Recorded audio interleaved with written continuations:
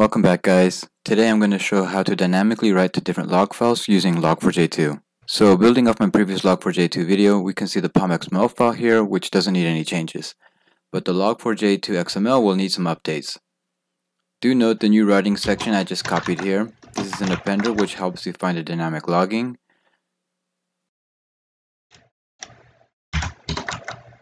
Now in these other console appenders I'm going to do some cleanup. I'll get rid of this filters tag and the console error and the console debug appenders.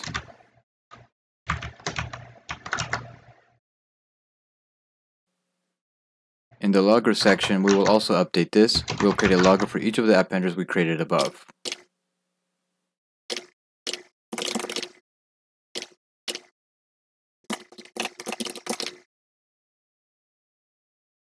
Now we're going to create a Java file that will help us with these loggers. I'm going to create public static final logger objects that will represent a logger we defined in the log4j2 XML file. The first you can see is the routing logger.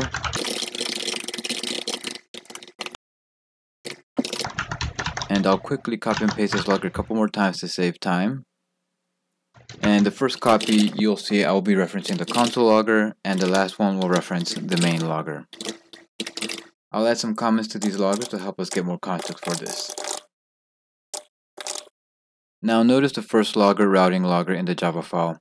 See how the routing logger in the Java file corresponds to the logger in the log4j2 XML file? And within that logger is referencing the appender ref routing. And if we scroll up above, we can see that creating that we created a routing appender with the name routing. And you can see the contents of this appender here. Now back in the Java code, do notice the console logger logger and see how that corresponds to a logger in the XML file that is called console logger. And notice within that the logger it, it references the appender ref console out, which you can see the definition above, which it just logs contents from the terminal output. And lastly in the Java file you'll see this main logger logger.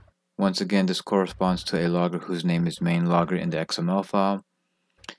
And within it we do have two appender refs including the main rolling log and the console out log. So this log file will capture anything logged into the main console window and will log anything to the main rolling main rolling log appender which you can see here above.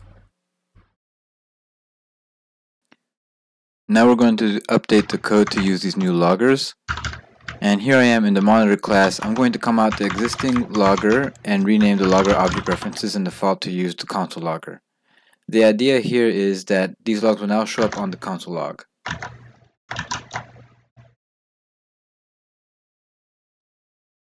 Now let's go to the start service Java file. We'll once again comment out the existing class logger and this time we're going to use the routing logger in place of the logger references in the class execution code. This is the dynamic log where we can write to different log files. Also for the dynamic logging to to log to different files to work, I'm going to add a variable to this class to uniquely define this instance. We'll use this instance string variable to help us log to different log files dynamically.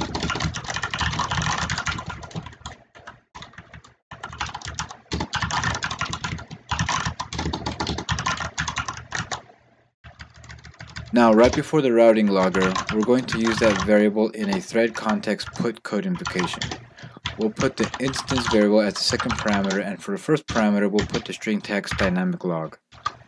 We'll quickly update the routing logger calls to put the instance variable as part of the log. We'll also add this to the thread context.put in front of the other two, other two routing logger lines of code.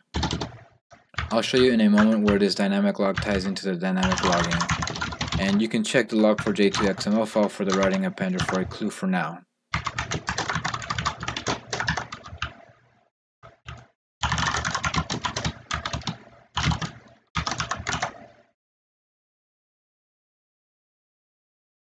Now let's go ahead and update the main method.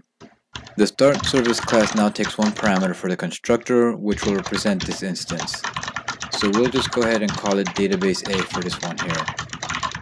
Now we'll also create a second instance of start service and we'll pass database B as the input parameter and then we'll have it run on its own thread.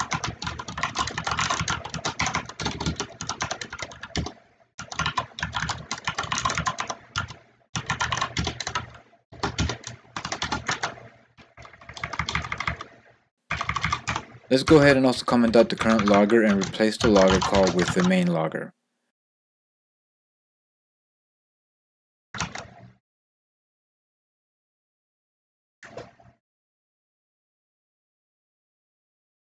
Now let's go ahead and run this app.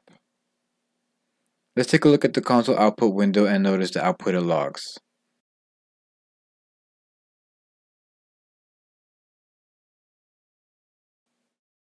Okay, now that the app is finished, let's see these three output logs. The first one stating application started is here in the main method and it's using the main logger. If we also open up the app.log file in the logs folder, we can see the same log there. If we go back into the log4j2xml, we can see that the main logger logger has two app appenders, which is the main rolling log and the console out log. The main rolling logs log I should say, the main rolling log logs to the app.log file mentioned above, whereas the console out logs to the output window. Now if we go to the start service class with the dynamic logging, we see that the thread context output call for dynamic log key uses the value in the instance variable. Once again, this instance variable is input parameter when instantiating the start service class. Now in the logs folder, we'll see a database a underscore log.log file, which has the connecting and disconnecting log messages that we see in the start service class. Also, we'll see a database underscore b underscore log.log file with its own log messages indicating connecting and disconnecting. So let's look at the dynamic, dynamic log key and go back to the log4j2xml Let's look at the routing appender and notice the routes pattern has the, the CTX dynamic underscore log text. The data below shows it using that to create dynamic log files for the app and it uses the instance value passed in to be part of the log file name. So once again, it is using the routing logger variable from loghelper.java and the logger it gets is the routing logger there. In the log4j2xml, we can see the, the logger tag for routing logger, and we can see that it's appender ref is routing.